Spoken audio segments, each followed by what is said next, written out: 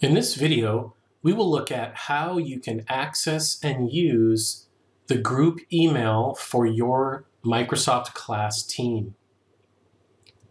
All right, so in order to access the email account of a class team, we're going to go to office.com and we're going to go to the Outlook app located here. All right, so here you're going to be viewing your email. And what you can do is if you scroll down here, the far left column, you're going to see groups as a heading. And you might need to expand this to see the actual groups underneath there.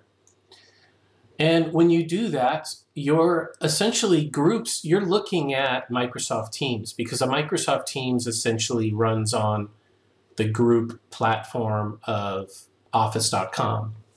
So what you'll see here is you can locate your class and if you need to, if you're not seeing it, you can click on more to see more teams or groups. And so here is where you can access the email account of this class team or any Microsoft team for that matter.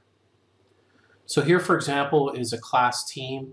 I can right click on it and there we go. We have copy email address.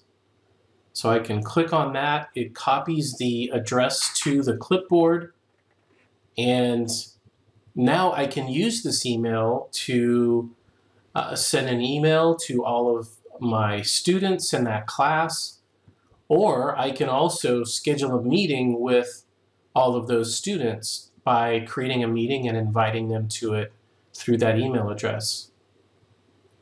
So just so you see what this looks like, if I go to new message and uh, I'm going to go ahead and paste in that email address I copied. So I'll hit paste in the to field. So here you're going to see the name of the class. And then after that, you're going to see um, the actual email address there that's associated with it. What you're going to notice is that the email address ends with at fusd.onmicrosoft.com. So that's a telltale sign that this is a group email that goes to uh, the members of a group or a team. Now, I can do the same exact thing if I want to invite my students to a meeting.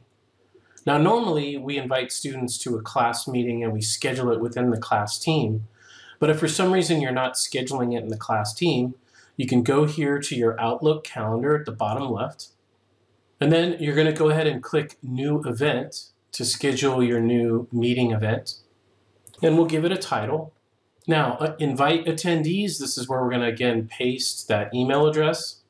And notice that you can paste multiple email addresses. So if you wanted to invite multiple classes to a meeting, this would be the way to do it.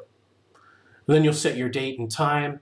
Now the most important thing here is right here, the Teams meeting option. So you've got to make sure that you click here and turn on the Teams meeting option so that you get that meeting link and you can actually use Microsoft Teams meeting.